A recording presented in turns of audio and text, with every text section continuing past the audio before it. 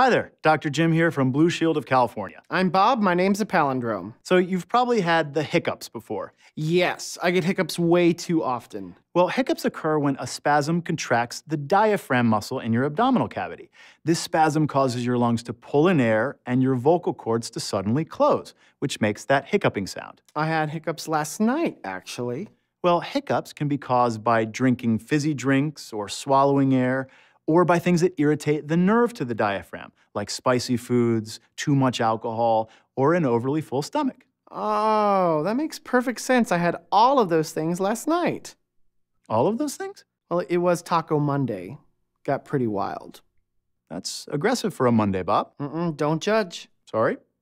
Anyway, hiccups should last only a few minutes or hours and go away on their own. I drank a glass of water upside down, got in my nose, thought I was gonna die. Probably unlikely, but a better way to get rid of hiccups is to hold your breath for several seconds or longer. Or try breathing out against your closed mouth and nose, kind of like how you'd pop your ears on an airplane. Hey, you should come out with me sometime, Dr. Jim. You have a lot of useful knowledge. Maybe next time, Bob. Okay. The old rain check. Yep. Rain check.